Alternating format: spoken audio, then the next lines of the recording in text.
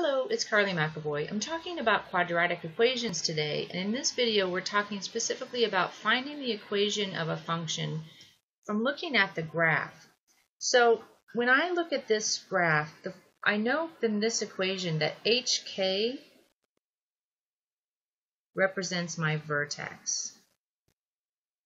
So here's my h and here's my k.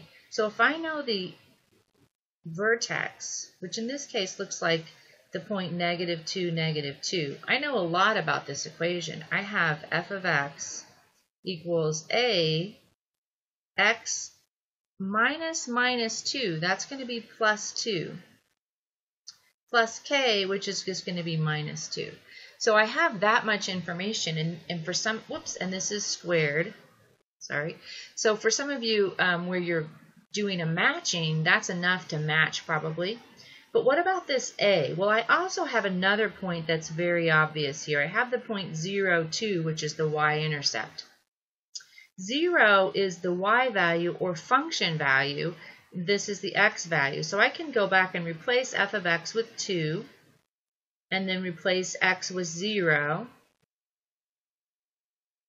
and then solve that equation. So you can see if I add 2 to both sides, I get 4, and then 2 squared, 0 plus 2 is still 2. 2 squared is 4, and if I divide both sides by 4, I get 1. So in this case, a is 1, so my function is 1, but I don't even need to write that, x plus 2 squared minus 2.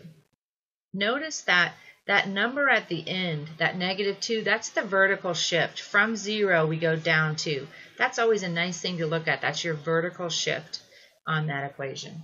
Okay, let's look at another one. This one is going down instead of up. Remember when a function opens up like the last one, we expect to see a positive a. That first value should be positive. So this one tells me we're going to have something that's negative. First, I want to figure out what is my vertex. And my vertex to me looks like 3, 1. I also want to know my y-intercept, which looks like negative 8, 0. So I'm going to start by putting in my vertex. And in this case, I don't know what a is yet, but I know x minus 3 squared plus 1 because my hk goes from my vertex. vertex.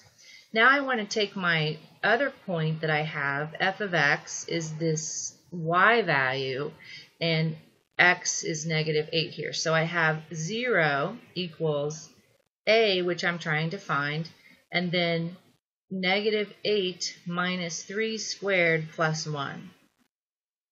So now I'm going to, um, oh, I have that backwards, right? That should be 0, negative 8. So that's negative 8, and this is 0. Did you catch that before I did? So the thing is, people, you make mistakes, and that's a simple mistake. What's the ordered pair here? I'm not going left or right, so I'm going 0, and then I'm going down 8. That's a mistake. It doesn't mean that I'm bad at math. It doesn't mean if you make a mistake, you're bad at math. It means we made a mistake.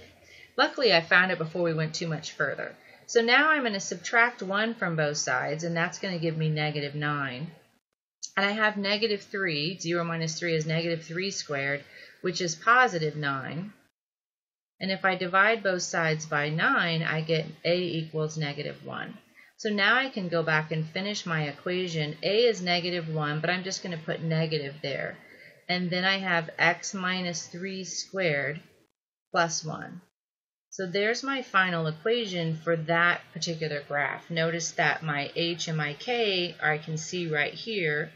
And then my the fact that it's opening down is why I have a negative. Okay, one more. Let's see if I can get the ordered pairs right to do this. First of all, I'm interested in what is the vertex. Well, the vertex here is 2, 3. And what's the y-intercept? I don't go left or right, but I go up to 11. So those are the two points I'm going to use to find this. I start off with my equation. I'm going to just plug in the x that I know, the vertex for the x.